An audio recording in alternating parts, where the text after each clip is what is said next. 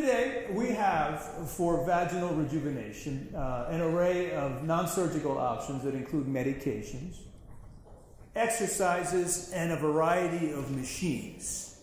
Now, some of you in the audience have machines, others are shopping around or deciding whether you want to buy a machine, and you're probably all confused. Okay, you see one, one person talking about incredible results with one machine, another one with a different machine getting incredible results. Uh, the common theme should be machines seem to work pretty well. So that's that's something that uh, that we've noticed that uh, every every speaker here has noticed. They've had positive experiences with machines. So we're going to go into a little bit of the uh, the machines because this is the newest thing uh, on the block. All of the other uh, the medications and the exercises are pretty well known to the majority of, of people in the field.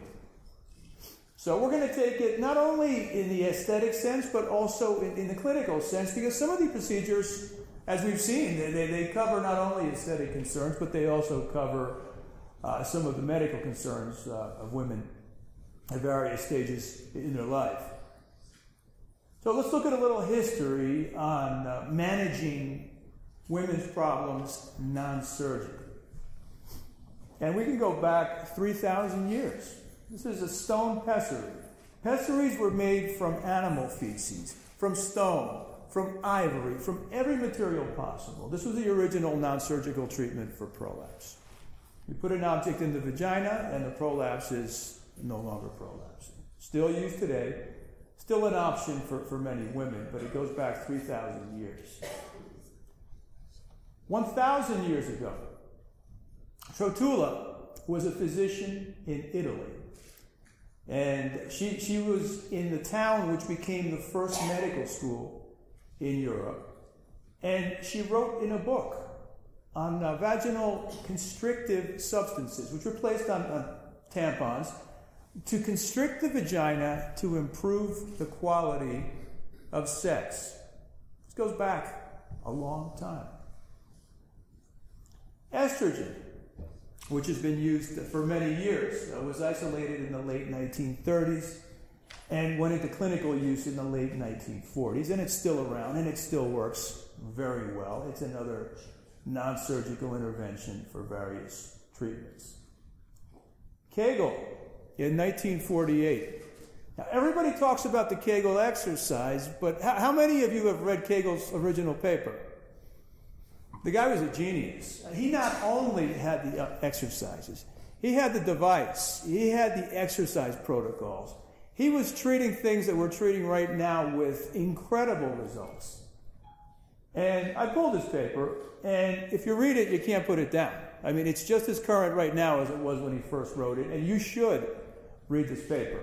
It's completely modern in every aspect of, of his approach to uh, the therapy. He used it in postpartum patients. He used it in menopausal patients. He used it in surgical patients. And he wondered why patients would have uh, posterior repairs and why these women would lose their tightness. And the Kegel exercise would improve the tightness even in surgical failures. Uh, I'm, I'm, sure a lot of it has to do with the lousy suture material they were using back then, but uh, some of this stuff is still very relevant. And this is what he used as his biofeedback.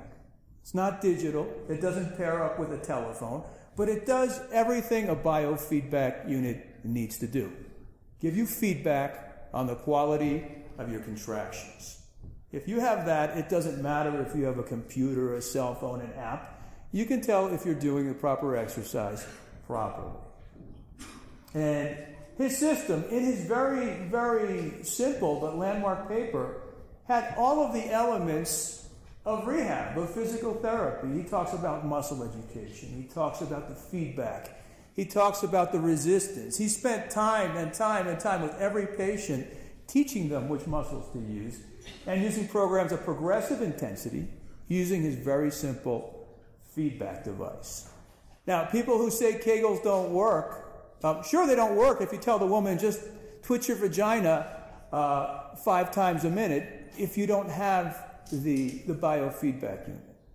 So Kegel was never about just doing the exercises. He was always about the biofeedback.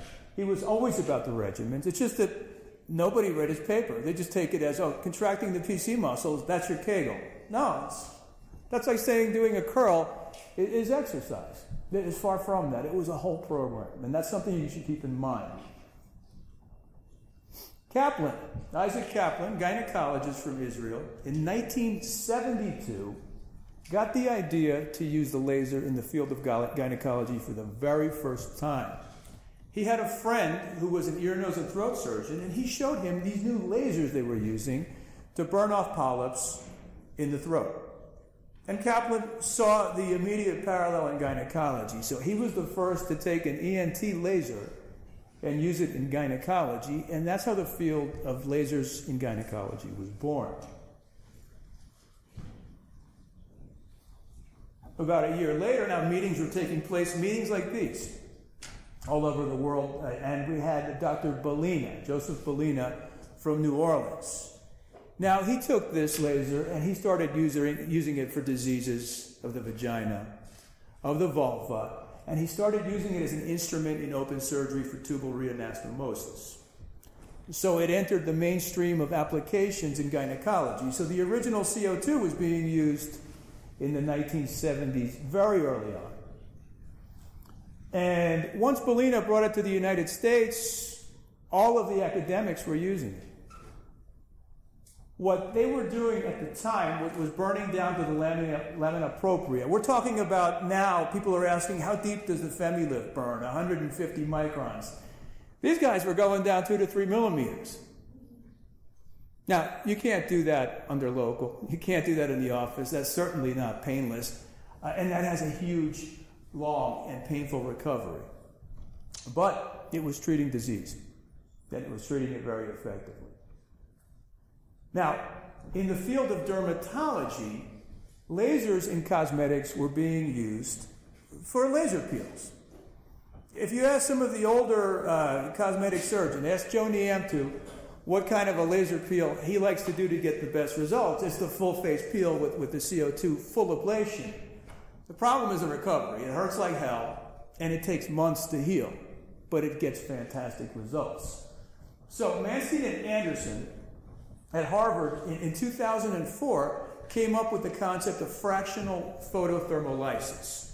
Let's burn pixels and let's leave the skin in between untouched to accelerate the healing process. We'll go just as deep, and the skin that shrinks will cause tightening. The thermal effect and the trauma will cause a remodeling effect, so you get the best of both worlds. You get a laser effect, and the downtime is minimal, the pain is minimal, most of the complications are bypassed. So this was a breakthrough in, in technology, and, and, this set off the whole field of the Fraxel and all of the other pixel technologies. So we have full ablative versus fractional laser. Now I've modified this slide a little bit for CO2 to show you what they were doing in the early days because uh, the one that I took this from was for erbium and it goes a little more superficial. But anyhow, you get the idea. Okay, if you leave healthy skin in between, you heal faster.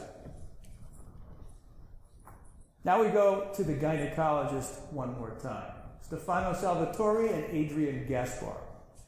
In 2009, they both started using a prototype laser modified from the facial lasers, which had basically a right angle mirror so you could fire at 40, 90 degrees from your target so you could fire it into the vaginal canal.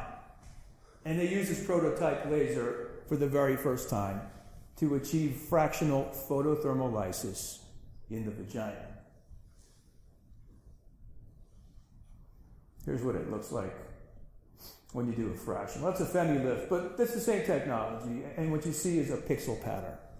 And you're able to stimulate the vagina to produce collagen and to heal from a laser burn and produce whatever effects you're shooting to achieve. Now, go, going back to Salvatore and, and Gaspar, uh, they wanted to see if this would stimulate atrophic vaginal skin to thicken again.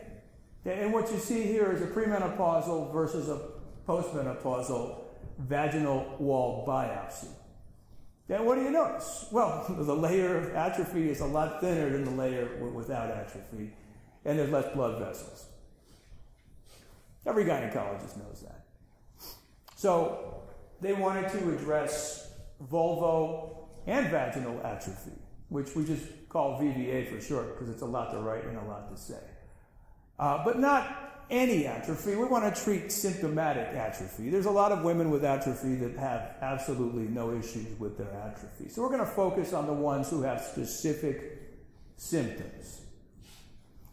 And it used to be called atrophic vaginitis. It was renamed a few years ago to the genitourinary syndrome of menopause, or, or, GSM, but basically it's atrophic vaginitis, and that also includes some of the urinary tract estrogen sensitive areas. So they wanted to have a more inclusive and broader term. So you'll see this term all the time being used right now with uh, any kind of a laser study and any of the interventions for atrophic vaginitis.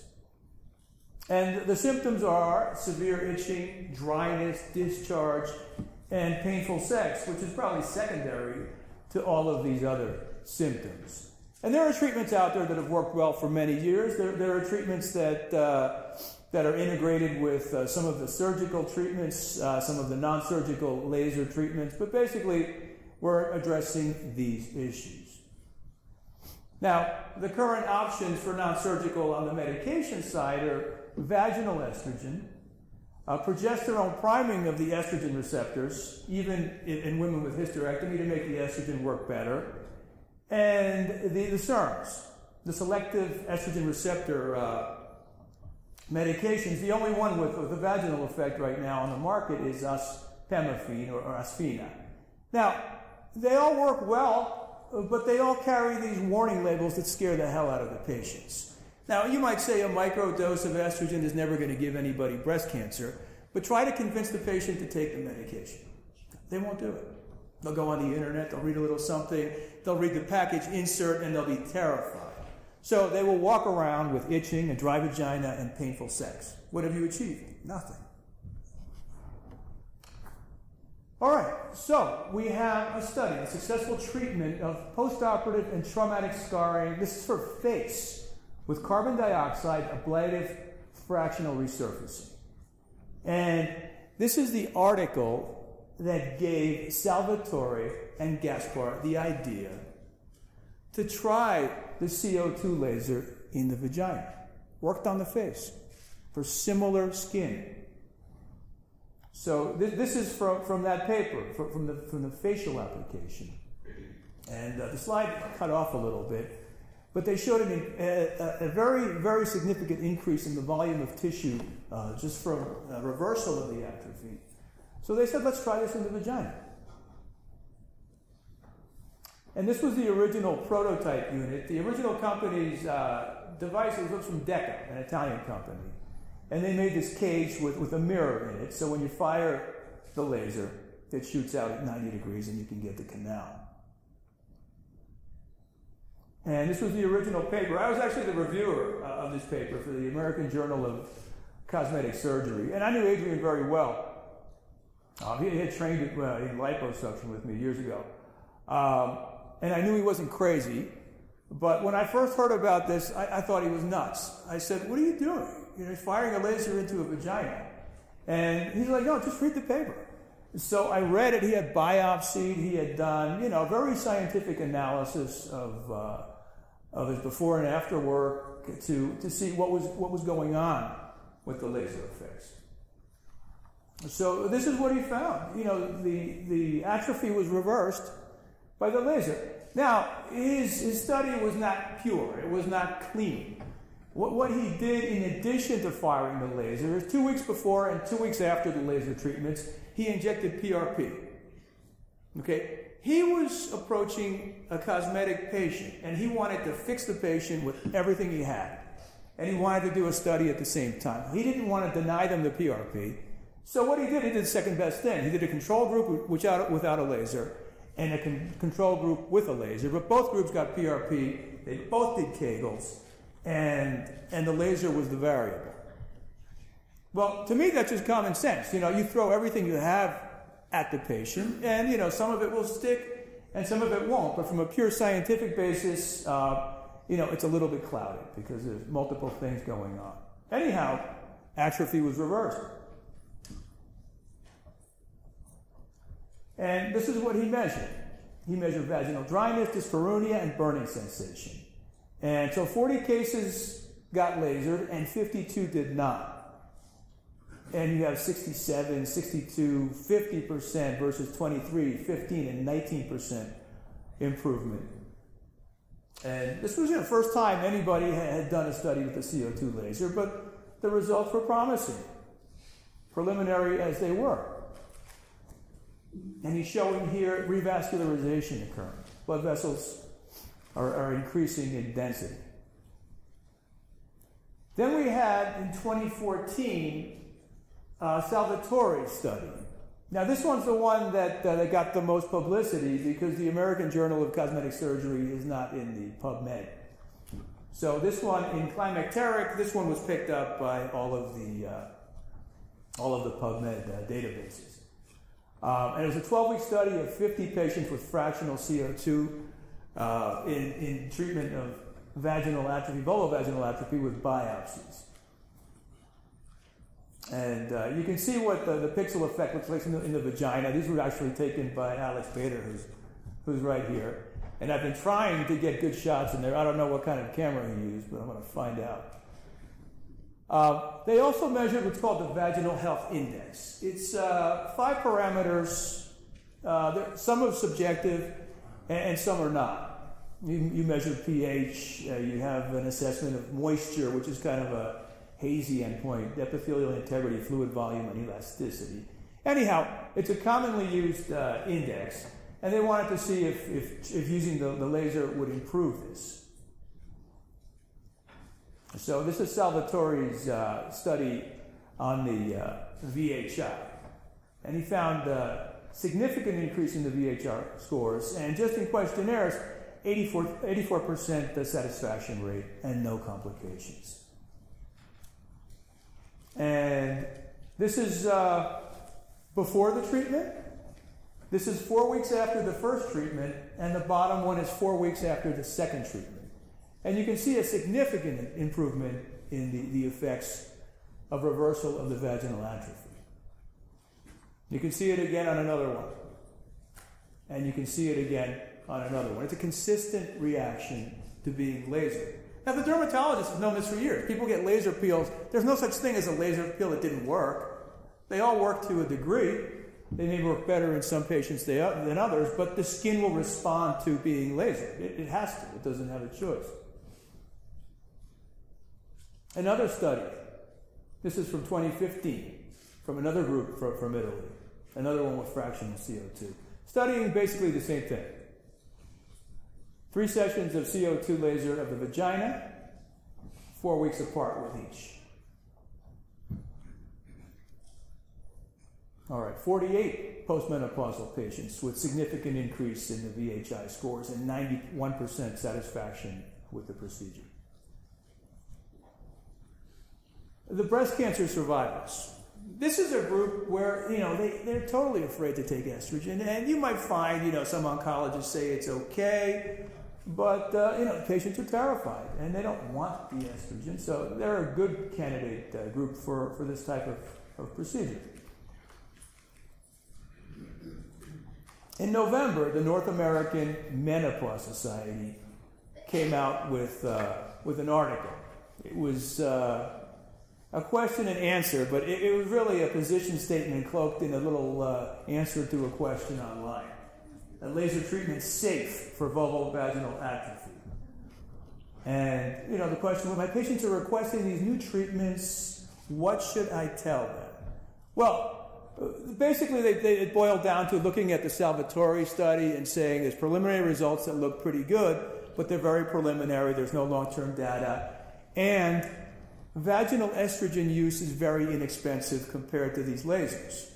And they quoted a number. They said it costs $300 a year to treat a woman with vaginal estrogen. So I don't believe anything I hear. So I went online and I checked the numbers, and I'll show you what I found. And it's very interesting what I found. What I found is this this is from Costco, which is the cheapest place to buy medications. And this was uh, last week. If you take Vagifem for a year and you pay out of pocket for the whole thing, you're paying about $2,500, which is more than I charge for three sessions of Femilift, which give you at least a year of effect. Premarin cream, if you want to use the most aggressive protocol, which is 21 days on and 7 days off for a full year, you're paying $2,000. If you want to use the bulky and uncomfortable Estring, you pay 1550 And if you want to use Osphena, you're paying 2500 again. So I don't know where they pulled the numbers out of, but they're completely bogus and they have nothing to do with reality. You go on the web you call your pharmacist. What does it cost for a year's worth of estrogen? And, and you come up with these numbers. For a year. And, you know, some people are saying, you know, my, my, my Femilift patients are happy for more than a year. The longer it stays, the cheaper it is. So I think, you know, if you, if you measure the one year cost of, uh, of medications that are already out there, it, it's, it's on par. It's basically the same cost. The consensus uh, atrophy is it works well on biopsies. It works well on patient satisfaction scores. It's been shown in multiple groups, multiple centers, different doctors. So it works. We don't have long term data, but the best data that we have show that it works. And uh, so that, that's where it stands. You shouldn't feel bad about offering it to the patient. You shouldn't feel uncertain about what it's going to do it's going to improve vaginal atrophy. Now, if we take it one step further, women who breastfeed, okay, they get vaginal atrophy too. And if they're breastfeeding, sometimes they don't want to take estrogen. It may affect the milk. It may get through the milk to the baby, whatever. Even if it's completely harmless, they're afraid to use it. And if they're going to breastfeed 8, nine, ten months, why should they have to suffer with a dry vagina? No reason. So that's another uh, use, a potential use of, of these technologies to help the patient have a better sex life without affecting the quality of the breast milk. Now, if you ask anybody who does pelvic surgery, when they operate on a menopausal patient, almost all of them will throw in some estrogen cream at the end of the case. What for? Well, estrogen stimulates the skin to thicken. Would you rather have your, sur- your, your surgery healing with thicker skin or thinner skin? Obviously, thicker skin. So why not use lasers to do the same thing? You can use them before the surgery, you can use them after the surgery. There's really no reason not to. So this is another situation where you could just integrate things you already do to achieve better effects than what you could normally achieve with just doing straight surgery. So there's no downside to this. Now, I went to the American College of Obstetricians and Gynecologists annual meeting in May. And in the exhibit hall, there were seven laser companies. Okay? They probably paid ACOG, I don't know, north of $50,000. So ACOG had nothing to say about vaginal rejuvenation, but it was being advertised all over the place in the meeting hall. I don't have a problem with that. But then they come out with this statement three days after the meeting. Now, I was on the ACOG Cosmetic Surgery Task Force in 2007 and 2008. And these statements don't come out overnight. It takes a year. They have at least two or three meetings and they put out a statement.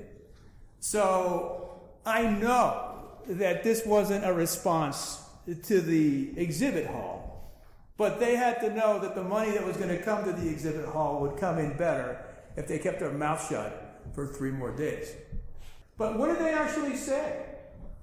Well, let's take a look at it. The lasers that are on the market right now, whether they're used for a CO2 facial peel, whether they're used for endometriosis, whether they're used for genital warts, for incisions, for whatever use they're used in every single field of surgery, this is all the FDA approvals mean. Not one single laser is approved for a specific condition.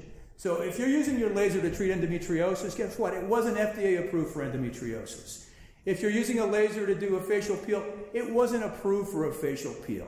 The language is just not in the FDA approval, and no company in their right mind would put it in that way because it restricts their ability to sell their laser. It's like applying for a patent. You shoot broad, you use broad language. So you can't say it's FDA approved for incontinence because that's not the language of the FDA approval. You can use it to ablate, and the ablation might have effects that were the intended result of ablating. You can incise, you can excise, but you can't say that it's FDA cleared for removing warts. Problem is, when you go online, people are advertising it like that. And the problem that ACOG had is that patients were being fooled into thinking that these procedures have long term data, which they don't. So, whether they work or not, whether we're all pro about them, is irrelevant. The patients were being fed a misleading statement, and, and ACOG didn't like that. That's all. They didn't say anything more, they didn't say anything less. So, vaginal fractional CO2 is ablation and vaporization. Erbium, same thing. You can say different things about radio frequency. They're all approved for use in the vagina. And you, as the clinician, decide what the intent of that treatment is going to be. But that's not what the FDA approval says. It never was, and it never will be. So, going to the next step, it's not an off label use to ablate the vagina. So don't be afraid of getting a CO2 laser or an erbium or a radio frequency and using it. You're not using it off label. The intent was to ablate, the intent was to heat up. Well, you're doing that. So have no fear. And guess what? Ablation fixes atrophy. The, the, Italians have been working on, uh, on vaginal. Everybody's working on different lasers, and we all want to see results of these things working because the more results that we see, the more, the more confidence we have when we sit across from the patient and tell them, I want you to spend cash for this procedure, and I think it's going to have good results for you because it's had great results for other people. All right, now here's one that's a brand new indication. Now, it's not a brand new indication in the sense that lasers haven't been used, but fractional lasers haven't been used for lichen. It's, it's a brand new indication. And this is something I get emails from patients, I get emails from doctors, you know, that I've consulted on for, for CO2. Um, they're always asking me, what about lichen? What about lichen? You know, what does it do? What do you do? How do you use it? I said, well, let me tell you what, uh, what I know. So, if you've never seen lichen sclerosis, this is lichen. And I put up a ton of lichen slides, so by the end of these slides, you'll have a pretty good idea of what it looks like. White patchy skin, and if it's been around for a while, you get what's called agglutination. Things stick together. It's very, very uh, fragile. And it itches like crazy. And patients come in with the itching. That's the number one concern. It's probably the only concern. It's incredible itching they can't get rid of. Here's agglutination. Now, it affects men and women. In men, it affects the, the head of the penis or the foreskin if they're not circumcised. It's also found in non genital areas, and you can have it and not have any itching. So you can walk around with lichen all day long. If it doesn't itch, you really don't need to do anything about it. So here, here's, the, uh, here's the foreskin. And uh, this is something you'll find. It's all over the gynae literature. It's all over the urology literature. It's the two most common uh, manifestations of lichen. Now, you have to biopsy. You can't just say, oh, it looks like lichen, let me go treat it, because 5% have cancer, squamous cell. And you have to keep watching them because uh, an increased risk of cancer accompanies this disease.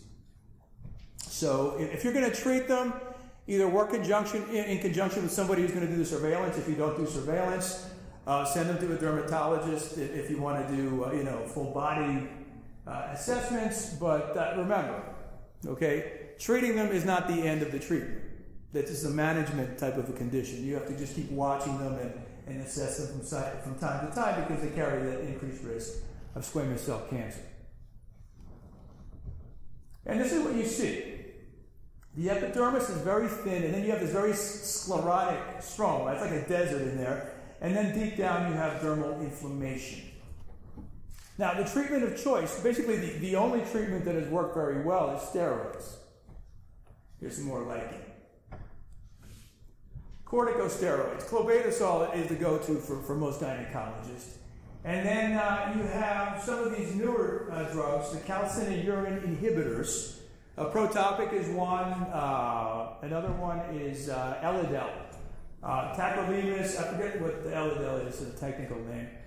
And then some people use retinoids, but they don't tolerate retinoids very well in the vulva. It burns like hell. So retinoids really, if you tried them once on a on a vulva, you'll never try it again. The patient will jump. She, she won't like it. So for, for, for the vagina area, it's either steroids or, uh, or protopic or laser. Let's, let's start with the, with the reports. You know, let's, let's see what we have. And what I found was a lot of literature, older literature, on ablative CO2 laser with pretty good results. So ablative, so just full field blasting under general anesthesia of the entire area. And let's go back, 1984. Okay, we have Labrego from Chicago, gynecologist.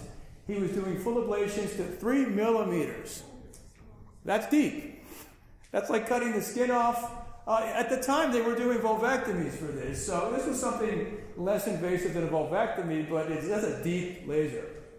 And what he found with the full ablation is 19 of 28 women improved, slightly under 70%. But what he also found, he followed the patients, he said after these treatments, steroids work better. Well, no kidding, it burned off all the skin, there's nothing left.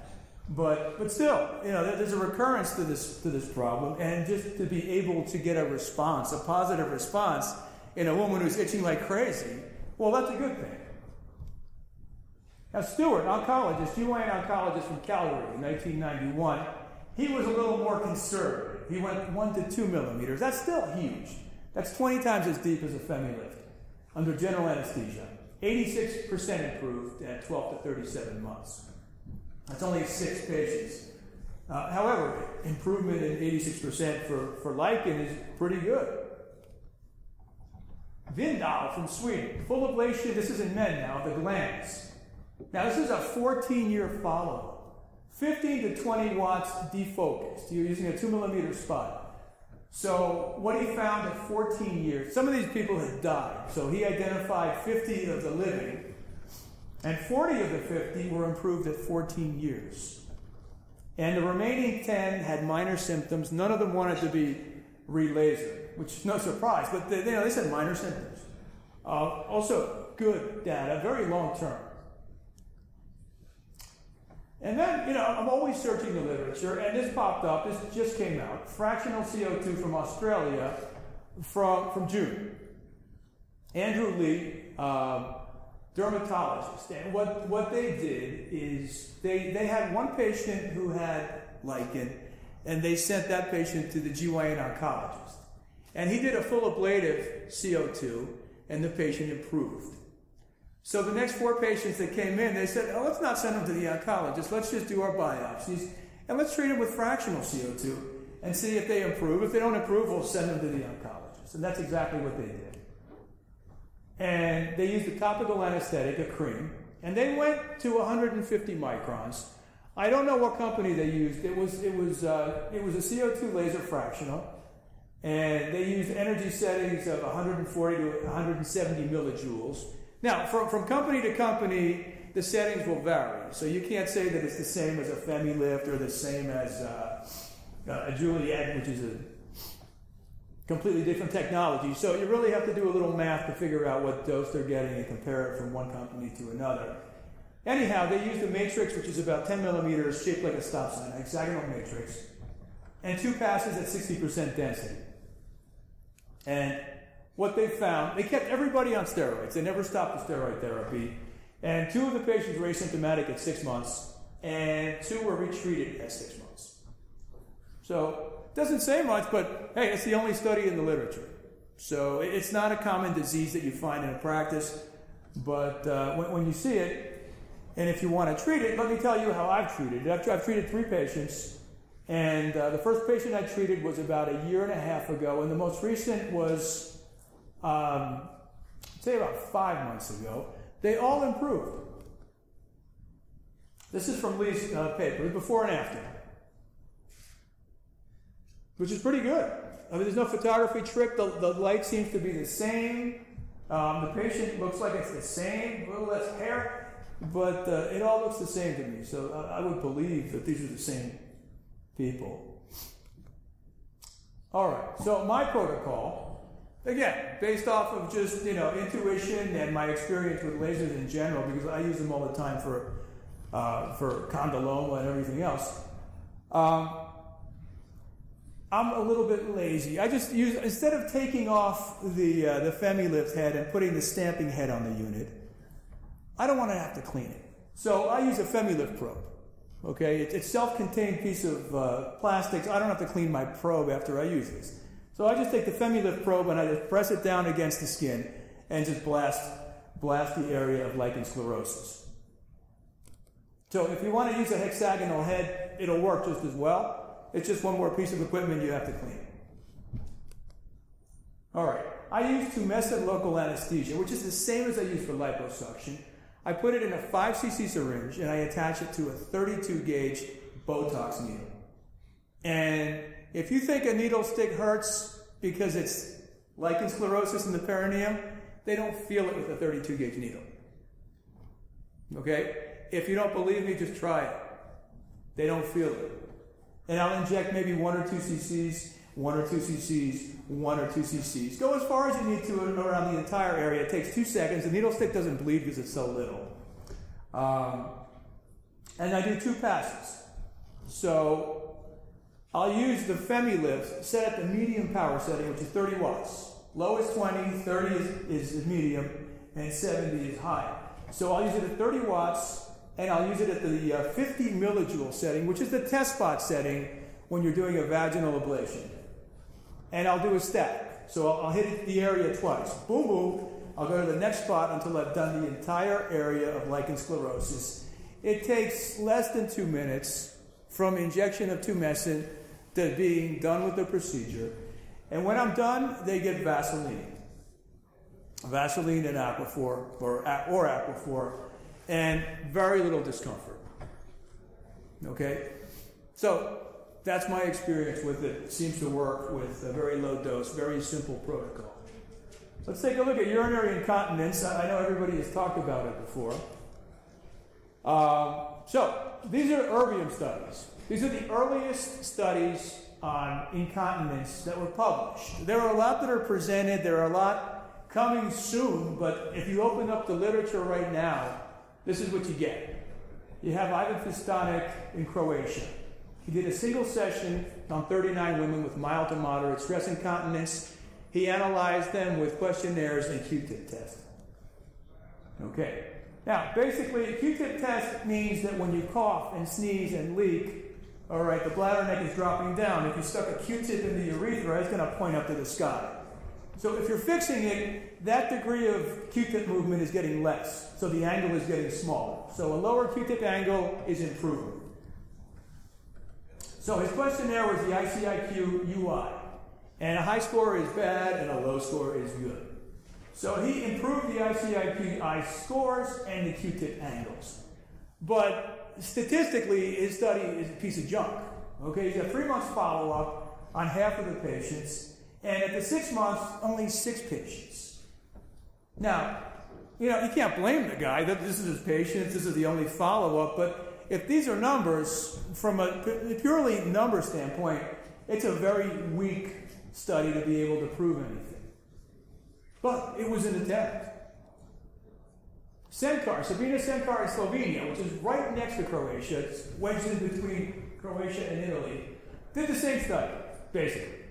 And she took 107 women with stress incontinence and mixed incontinence. So you had a mishmash of, of indications. And she found improved ICIQ UI scores of 92.5% at six months. But let's see, 92.5% of what? How many patients came back? All right, I don't have those numbers. Uh, Fistonić did a repeat study of his original study. Basically, it's the same study, just new patients. And uh, he assessed the results with the questionnaire. And again, there's this follow up issue. But the ICIQ UI scores are improving. All right, so, so what do you make out of this? Well, you're making a trade. Okay, the trade is this I can give you a procedure that might improve your incontinence, it doesn't require surgery, doesn't require drugs, and that has zero side effects. Okay? If, if you want to try it, we'll try it. But since the numbers aren't that good, okay, look, this is what I have on the numbers. The only studies I have. The stratification of patients by type. All right, you try to present this at AUGS, they would throw you right out of the building. It would never fly. There's no long term data. There's no set protocols. One guy's doing one thing, another researcher is doing another. So, as far as what do I have in paper, there's nothing. Zero. And there's a million different types of incontinence. Uh, if you go online, when you talk to people in the general, uh, I have a laser or I have a, a radio frequency device market, they're just doing these techniques blindly. They're, you know, some of them have no training in gynecology. This is a firing machine and making promises. So this is what I see happening. Let's just shoot and see, and we'll, we'll load this up with a bunch of pro- promises. Okay? Is there anything wrong with that? You might say, well, no. If she wants to pay, that's fine. We'll just see if it works. If she's happy, we're happy. Well, what could go wrong with this? Well, this is what could go wrong with this. It's a waste of money for the patient. Okay? You talked her into something that wasn't covered by insurance and it didn't work. What happens to you? You lose credibility. You know, if, if you tell me that something is going to work and I buy it and it doesn't work, what do I think of you? You know, what are you going to do for me now? You promised me something and I didn't get anything out of it. If a lot of people do this, then the, the technology loses credibility. Then no matter what else comes out, you have this huge burden. You're dragging this, this laundry all over the place. Well, you know, it just didn't work for me. So what's what's a better approach? This is what we do in cosmetics. The first thing we train people to do in cosmetics is set a low expectation that you can always meet. Okay? It might improve your incontinence. But I'm not gonna I'm not gonna hype it up to the crazy level that, you know, the proponents do because you're setting yourself up to fail. Okay? Second, I'm not going to ask you to invest the full amount up front because for incontinence, I don't have the numbers to prove it. So I'm going to set a low bar and say, do a test drive. Okay? I'll give you one treatment for 200 bucks. That's what it's going to cost you to satisfy your curiosity. That's going to be your test to see if it works for you. Because if it works for you, then I'm going to charge you later because now we know it works. Now we know this investment is worthwhile for you. That way, you don't lose the credibility. You don't make the patient lose a ton of money. And she will see you as a very honest guy or girl and come back for surgery or procedures forever. Even better approach do what Gaspar did in, in 2009 mix it with 10 different things. All right, when you have a stock portfolio, do you put all your money into one stock? No. Why? Because if it doesn't move, you're screwed. Same with this. Okay, make it a package. You know, use bioidenticals, use Kegels, use the biofeedback, throw it all together. And then we have energy tuning. This has been talked about before. This is just finding the right doses of energy for the patients. So, you know, you start out with the protocols the companies have because you don't have anything else to go with. But after a while, you want to get better results.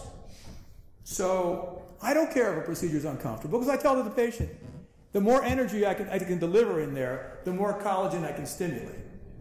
Do you want me to back off and make it comfortable, or do you want a result? Yeah, it's the same thing. You go to, you go to the health club right here in the hotel.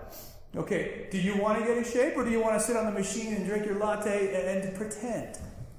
I can make you comfortable, or I can make you better. You choose. So, what are the takeaways from this lecture? Well, rejuvenation is not a machine, it's more than machines. You have to know the indications, you have to understand the anatomy, the conditions, and you have to know the alternatives. And you can blend them all together to create something that's truly going to provide a benefit to the patient, a benefit to your practice, And it's going to just garner a great reputation for, for all of this stuff. Thank you.